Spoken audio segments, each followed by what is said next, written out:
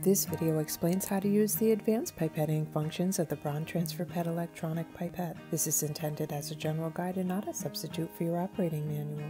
Before operating the transfer Transferpette electronic, wear all the appropriate personal protective equipment and observe all safety precautions.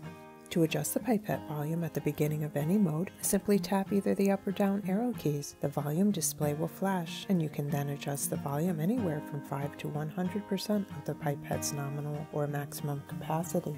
Once selected, press the Enter key to confirm the desired volume. The leftmost key is the menu key.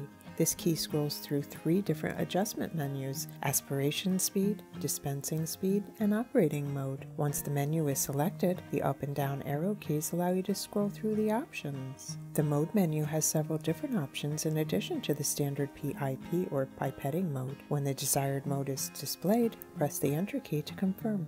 BLO will be displayed on the screen indicating a blowout is needed in order to continue. Press the pipetting key. PIPMIX is the mixing mode.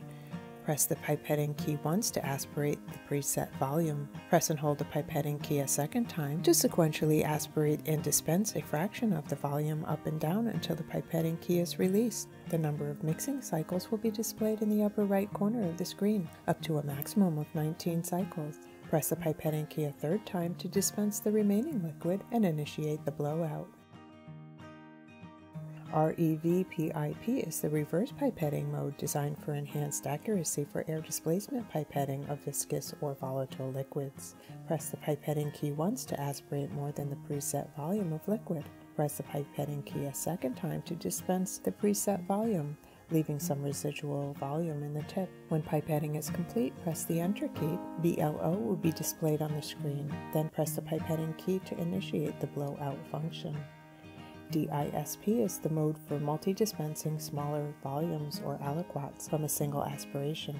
After the dispensing mode is selected and confirmed, the maximum number of steps, if possible, will be displayed in the upper right-hand corner of the screen. If desired, the number of steps can then be adjusted with the down arrow key. After selecting the desired number of steps, press the Enter key again. The display will show the aliquot volume and number of steps. Press the pipetting key once to perform the initial aspiration. Each time the pipetting key is pressed after the initial aspiration, one dispensing step is performed. When dispensing is complete, press the Enter key and BLO will be displayed on the screen.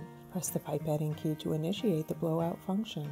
For the highest accuracy and reproducibility with repeating dispensing, a dedicated repeating pipette like the BRAND HandyStep is your best choice. Transferpette electronic instruments with a nominal capacity of 300 microliters or less has an additional GEL or gel loading mode. Press the pipetting key to aspirate the preset volume. If you would like to aspirate more than the preset volume, hold the pipetting key down. The pipette will continue to aspirate up to 110% of the nominal volume. When the pipetting key is released, the aspirated volume will be displayed. Press the pipetting key a second time to start dispensing. Dispensing in the gel loading mode is at a very low speed so as not to overload your gel well. When you want to stop dispensing, press the pipetting key a third time. The actual dispensed volume will then be displayed. To discharge the remaining liquid in the tip, press the pipetting key a fourth time. The pipette will then be ready to aspirate your next gel sample. If you have additional questions and are located in the US or Canada, contact Brandtech Scientific Customer Service. And for those from other regions, contact your local brand representative.